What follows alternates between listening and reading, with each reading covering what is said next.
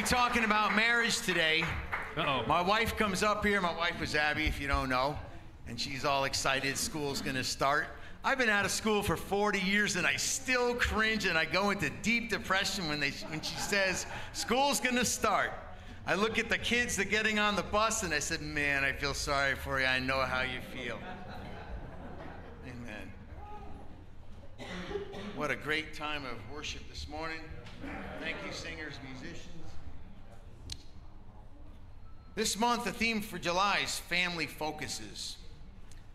You know, I was thinking the other day about the scripture to love the Lord thy God with all thy heart, all thy soul, all thy might, and all thy strength.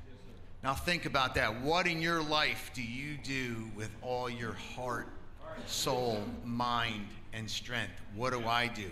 Is it my job? Is it my family? Is it my fun things to do? Is it my house, my car, whatever it might be? I'm going to tell a little bit a little story here. When I was 14 years old, we had a house in Connecticut. It was a summer house and it was on a lake. We had a little boat and it was a 50 horse Merc motor. And it was fun and it went pretty quick, about 29 whole miles an hour.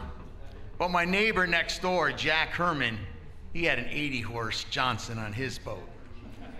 But Jack's boat wouldn't run too well.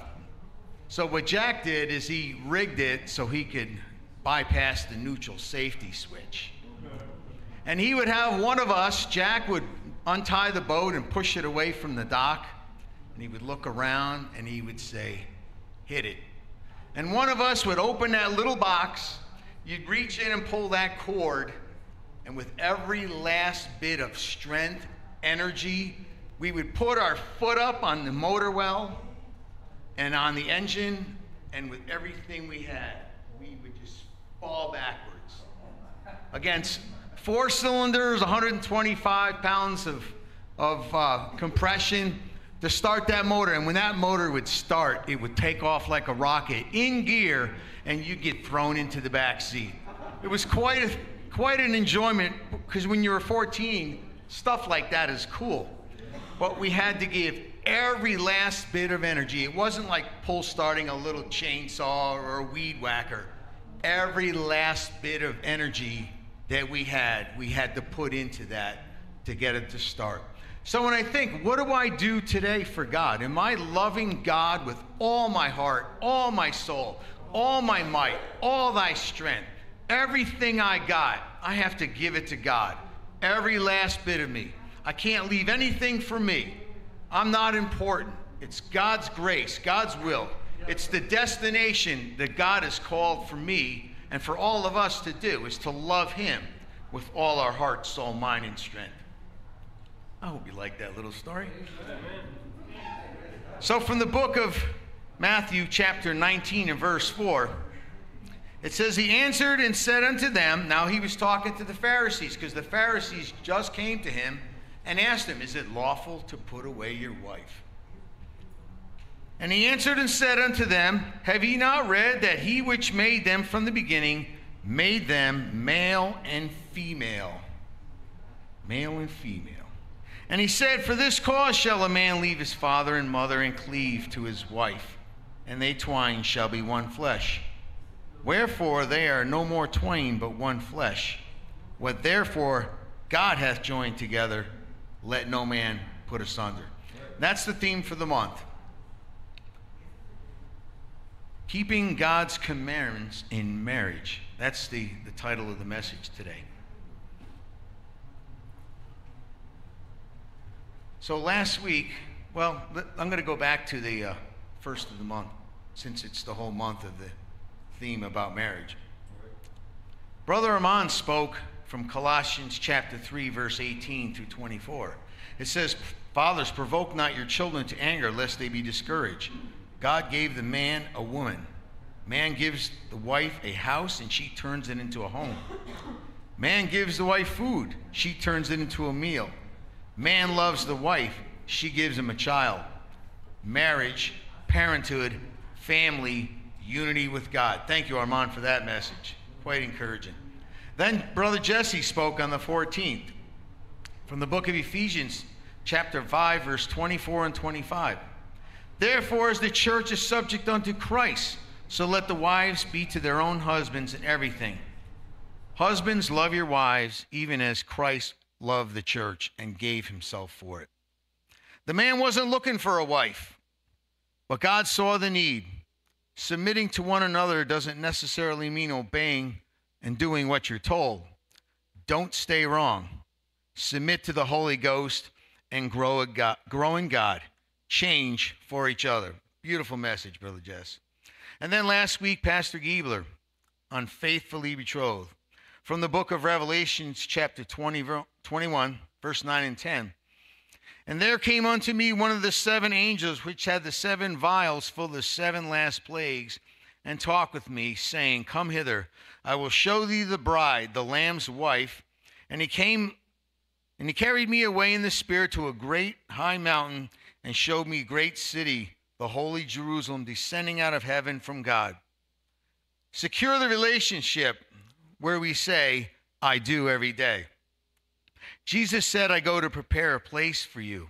We lay down our life for our wives. Christ laid down his, his life for us. We know how to push, each other's red button. That was a good point, Pastor Giebler.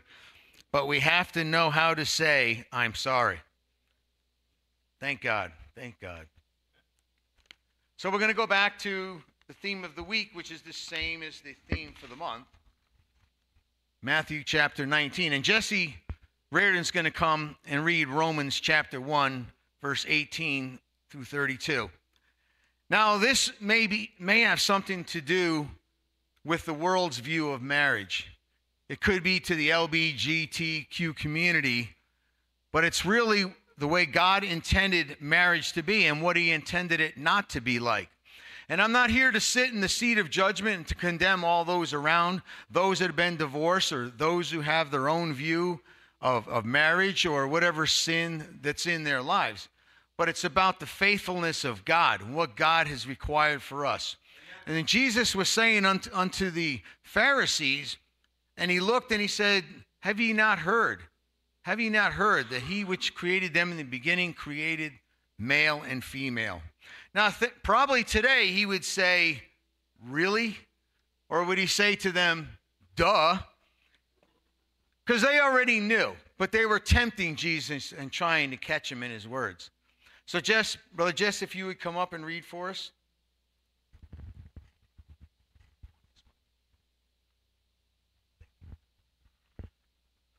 Romans chapter 1, beginning in verse 18. For the wrath of God is revealed from heaven against all ungodliness and unrighteousness of men who hold the truth in unrighteousness because that which may be known of God is manifest in them, for God hath shown it unto them. For the invisible things of him from the creation of the world are clearly seen, being understood by the things that are made, even his eternal power and Godhead, so that they are without excuse. Because that, when they knew God, they glorify him not as God, neither were thankful, but became vain in their imaginations, and their foolish heart was darkened professing themselves to be wise, they became fools and changed the glory of the uncorruptible God into an image made like, an corruptible man, to the birds and four footed beasts and creeping things. Wherefore God also gave them up unto uncleanness through the lust of their own hearts, to the dishonor of their bodies between themselves, who changed the truth of God into lie, and worshiped and served the creature more than the Creator who is blessed forever. Amen. For this cause God gave them up to vile affections. For even their women did change the natural use that which is against nature. And likewise also men, leaving the natural use of women, burned in their lust towards one another. Men with men, working that which is unseemly, and receiving in themselves that recompense of their error which was meet. And even as they did not like to retain God in their knowledge, God gave them over to reprobate mind, to do those things which are not convenient, being filled with all unrighteousness, fornication, wickedness, covetousness, maliciousness, full of envy, murder, debate, deceit, malignity, whisperers, backbiters, haters of God, despiteful, proud, boasters, inventors of evil things, disobedient to parents, without understanding, covenant breakers without natural affection, implacable, unmerciful, who, knowing the judgment of God, that they which commit such things are, are worthy of death, not only to do the same, but have pleasure in them that do it. Thank you, Brother Jess. If we can't talk about this in church, where can we talk about it? The schools won't teach it, it's not on the streets. We have to talk about it in church. So maybe I'm preaching to the choir today, maybe not. But we all need to know, and we all need to read the Word of God and to know what God ordained when He called marriage, when He created man, the help meet for him, the marriage. Going back to Matthew chapter 19, verse 4. And he answered and said unto him, to them, Have ye not read that he which made them at the beginning made male and female? And said, For this cause shall a man leave his father and his mother, and shall cleave to his wife, and the twain shall be one flesh. Wherefore they are no more twain, but one flesh. What God therefore hath joined together, let no man put asunder. Let us pray. Father, we are so thankful to know your truth, to know the marriage that we have, the, the bond between our wives, us, and you, God. God, a marriage that is blessed of you is certain, certain prosperity, God, and we just are so thankful that you instructed us and taught us, and God, that you keep us every day and you teach us how to work with our families, God, and, and to, to be great servants and to work together in unity. God, let nothing put us and divide us. In Jesus' name, amen. So the Pharisees wanted to know if it was okay to divorce for any reason. Now, I've heard many people say, well, I'm getting divorced because of irreconcilable differences. All marriage, everything is reconcile, irreconciled differences. My wife is completely different than me. There are so many times that I have to say to my wife, I need you to handle this situation for me, especially with my daughters because I'm not, maybe I'm not prayed up enough at that moment. Maybe I'm uh, too temperamental. I have a whole list of things of, of why I can do things wrong, but sometimes I need to depend on my wife to let her explain to the kids something. She's much more nurturing than I am. I'm just kind of uh, temperamental, uh, walk softly, carry a big stick, or whatever it might be but I need my wife to do things for me. She supports me. And you know what? My wife and I, even though we disagree on some things, we come together in the Holy Ghost and we're all on the same page when it comes to God. You know, if they dig up our bodies thousands of years from now, they're going to look and they're going to, and they would examine and they would look at the bone structure and they would say male, female. Okay, the mummies, the archaeologists have, have dug up, forensics, you know, whatever it may be. God made us male and female, and we're different, regardless of what society says, how society feels about it, reacts to it, and their version of marriage. God ordained marriage. God ordained marriage between a man and a woman. Thank God for that. The Bible says that a man will leave his father and mother and cleave unto his wife, and they both shall be one flesh. Thank God for that. From the book of Second Corinthians, chapter 4, verse 3 and 4, it says, But if our gospel be hid, it is hid to them that are lost, in whom the God of this world hath blinded the minds of them which believe. Believe not, lest the light of the glorious gospel of Christ, who is in the image of God, should shine unto them. John the Baptist came preaching he said, O generation of vipers, who hath warned you to flee from the wrath to come? Bring forth fruits meet for repentance. Every day we all have to repent. Every last one of us is wretched, vile sinners, and we all need to repent before God. We cannot be self righteousness and say we are better and unlike anybody else. We all come to Jesus, filthy sinners, and we all leave blessed and saved and a new creature. Hallelujah to that. Thank God for that. Thank God. From the book of Isaiah, chapter 4, and verse 1, it says, In that day seven women shall take hold of one man, saying, We'll eat our own bread and wear our own apparel. Only let us be called by thy name to take away our reproach. Straight and narrow is the way. Straight and narrow is the way. Broad is the way that leadeth to destruction. So we have to do marriage right in everything we do. It has to be blessed of God, it has to be sanctified of God. It can't just be our own way and our own thoughts and likenesses. It has to be God's way. We have to go before God. We have to pray with our spouse each and every day. We have to be righteous. We have to read the word. We have to fast. We have to pray. Whatever it takes, but we have to be holy in the sight of God to keep that unity together. It's not by chance that we stay together. It's because we're given the Holy Ghost the chance to rule in our lives and we serve God.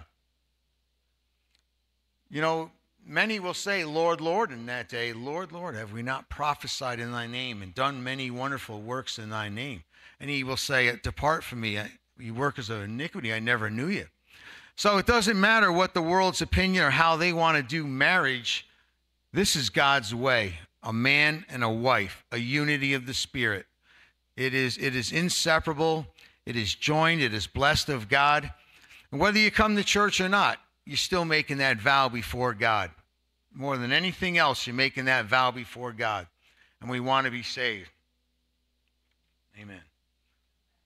1 Corinthians 6 in, in verse 13 Now the body is not for fornication, but for the Lord, and the Lord for the body. So we don't, we don't commit fornication. We don't commit adultery because it's not for us. This is why we have a, a marriage, a family. Hebrews chapter 13, it says, Marriage is honorable in all, and the bed undefiled. But whoremongers and adulterers, God will judge. God will judge. So we have to be righteous with God. We don't want to go out there through several people through the world the way the world does it. This week, get divorced. Next week, look for someone new. Before they're even divorced, they're looking for a, a new a new mate, a new a new future, whatever it might be. You know, sometimes I you know I know a family that is getting divorced right now, but alcohol is the center of their life. They think if I just get rid of this person, everything will go away. But their God is alcohol. They can't even see the forest through the, che- through the trees because they're, they're swimming in alcohol. The alcohol is what's dividing their marriage. It's not them not getting along, it's the alcohol. And I try to tell them, and they just don't want to listen. They just think it's, it's them. They, uh, sometimes people think the fulfilling of my life is my wife, or she owes me, or I'm going to get divorced because my life hasn't been what I expected you to make it for me, or what she expected me to make it for her. But it's our, our life and our walk with God. It's our favor with God that blesses us. We come to Christ as lost, filthy, wretched, evil sinners, but we leave a new creature, a new creature. It says, For they being ignorant of God's righteousness, in Romans 10 3, sorry about that, and going about to establish their own righteousness, have not submitted themselves to the righteousness of God. So wives and husbands have to submit to each other, but we have to first submit to the righteousness of God. Repentance. Jesus cast out the devils, but man has let them back in. They were first called Christians at Antioch, but the world expects now for Christ to be world like instead of us to be Christ like and to follow God's path of marriage and righteousness. That's what he wants us to do, to follow him, not to follow the world.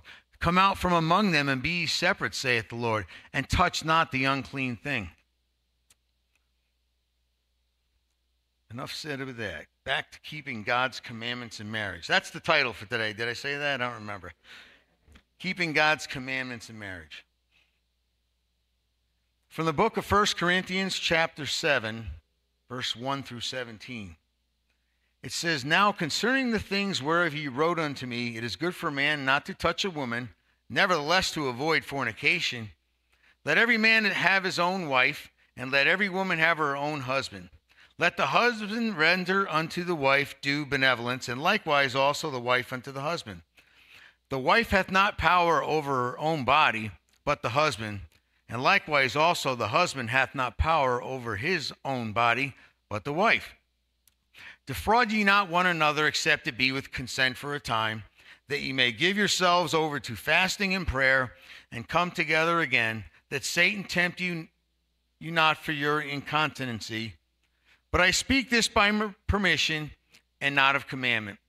For I would that all men were even as I myself, but every man hath his proper gift of God, one after this manner, another after that. And I say therefore to the unmarried and widows, it is good for them to abide, even as as as I, but they cannot contain, let them marry, for it is better to marry than to burn. And to the married I command, yet not I, but the Lord, let not the wife depart from her husband. But if she depart, let her remain unmarried or be reconciled to her husband. Let not the husband put away his wife. That was Jesus answering that question. But to the rest I speak, I, not, not the Lord. If any brother hath a wife that believeth not, and she be pleased to dwell with him, let him not put her away. So separation is for reconciliation.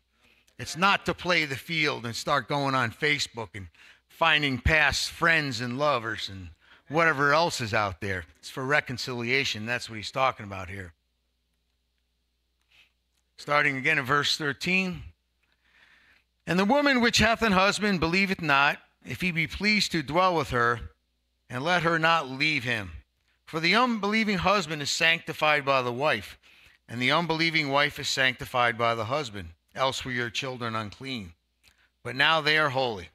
But if the unbelieving depart, let him depart. A brother or sister is not under bondage in such cases. But God hath called us to peace. For what knowest thou, O wife, whether thou shalt save thy husband? Or what knowest thou, O man, whether thou shalt save thy wife? But as God hath distributed every man as the Lord hath called, every one, so let him walk. And so I ordain in all churches.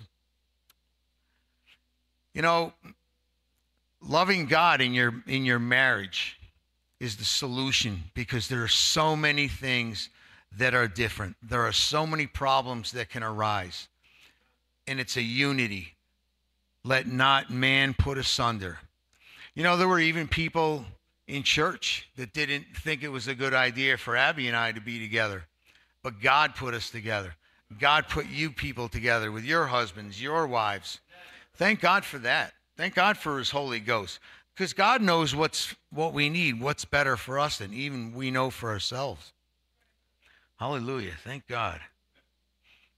From the book of First Corinthians in chapter 7, verse 39, says the wife is bound by the husband. I'm sorry, the wife is bound by the law as her husband liveth. But if her husband be dead, she is liberty to be married to whom she will, only in the Lord. Keep God first, no matter what, only in the Lord. Seek ye first the kingdom of God and his righteousness, and all these other things shall be added unto you. So if you lose a spouse, it's okay to remarry, but only in the Lord. Because the world will draw you away. It will entice you for other people, other things outside of God. But we got to keep it in God. We've got to keep God at the forefront of our life, the center of our life, all the time. Divorcing because of irreconcilable differences. But I would not have you without carefulness. He that is unmarried careth for the things that belong to the world, how he may please the Lord. But he that is married carried for the things of the world, how he may please his wife. Isn't that the truth? I want to do nothing more than please my wife, please my family. I give, I give all I have to her, to them. Why? Because they give it back to me. Because that's how you raise a family. God said to honor thy father and thy mother. And the father and the mother that raised me, and I honor them. What greater honor is, a, is for a parent to give away their children in marriage, especially when they know they're marrying the right person, they're marrying someone in the Lord. What a blessing that is. Can't wait to get rid of all my daughters. Give them all away. Marriage requires a lot of work, dedication, love. Christ, love Christ, love again, forgiveness, vision, prayer. If it's all about me, it will be a failure. The union strengthens our bond together in Christ. Marriage doesn't diminish my walk with God, it enhances it because we worship and serve God together. If you love Jesus said if you love me, keep my commandments. And that's his commandment for men to love his, their wives as Christ loved the church. So what can I do to put things asunder like Jesus said to split them up? I'm going to go to an Old Testament and it's about King Solomon. King Solomon loved many strange women, and it took him down.